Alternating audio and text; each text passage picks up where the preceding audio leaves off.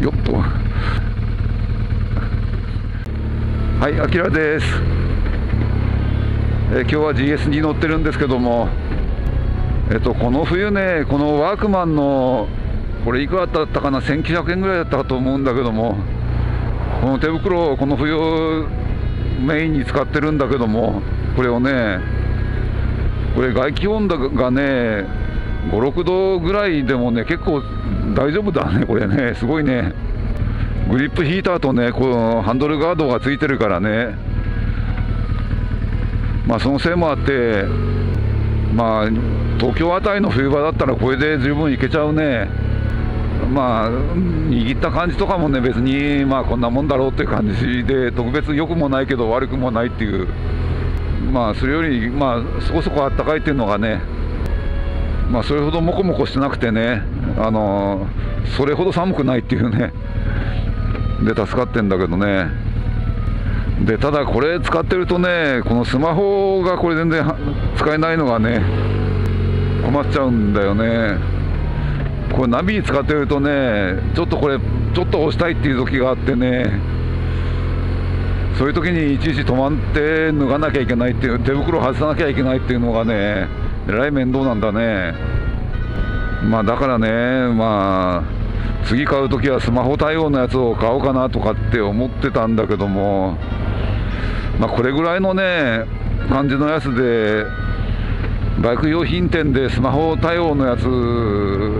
買おうとするとねやっぱ1万円弱ぐらいしちゃうんだね。なんかネットとか見てるとねここのあれにもう指先に穴を開けて使ってるなんて人もいるからね。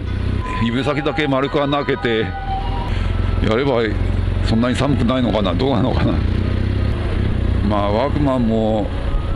ねバイク用品力入れてるみたいだからもしかしたらね最近のやつはスマホ対応でもう手袋もあんのかね。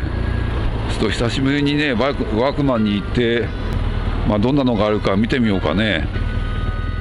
ワークマン。結局ねスマホ対応の手袋っては手袋はここでは売ってないね。まあついでに靴下は買ったけども。どうしようかね。まあ本当にこれ指穴穴開けちゃうか。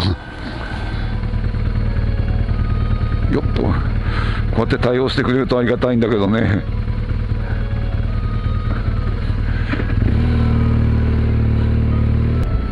こうやって使えるとねありがたいんだけど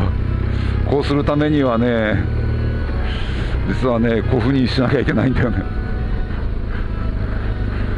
これわざわざね穴開けて指を出せるようにしたんだけどもこれで使えるかっていうとね実は結構使えちゃうんだね。まあグリップヒーターついてればねそんなこれ指の内側だからね風が当たらないしね。今日寒い時で気温78度かぐらいだったんだけどもあま穴開けてねどうかなるかと思ったけど全然問題ないね、うん、ちょっとこれ遠慮してちっちゃい穴開けたからねやるときこうやって指をこう出さなきゃいけないんだけどもまあいざとなればこういうねまあ次あのスマホ対応のやつ買えば買おうかなと思ってて試しに穴開けてみたら結構これで使えちゃうからね。まあこの冬はこれでこのままいっちゃおうかと。まあもうすぐ暖かくなってくるからね。結局スマホ対応のやつは買わずに済むかな。ということでねワークマンのこの手袋ね安物だけどもススマホ対応もやればできるっていう。まあでもこれ防水じゃなくなっちゃうけどねこれやると。まあこれでよしとしましょう。ということで今回は以上です。ご視聴ありがとうございます。